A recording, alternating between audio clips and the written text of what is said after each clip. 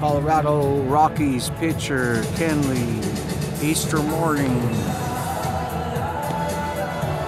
Playing with the kiddos.